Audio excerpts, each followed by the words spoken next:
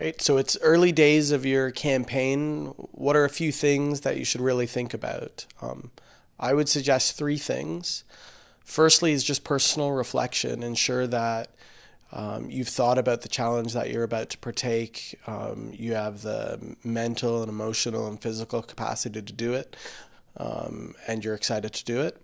Um, second, your family and friends. Um, running a, running a campaign is not only about you, but it's about those who surround you and making sure that you know your home and your family are supportive of the work that um, you're about to partake in.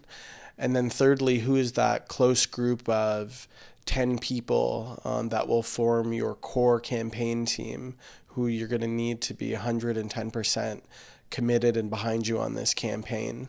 Uh, and if you have those three things, you're personally committed, your family and friends are supportive, and you've got a group of 10 or so people that you can fully rely on, um, you're off to a great start.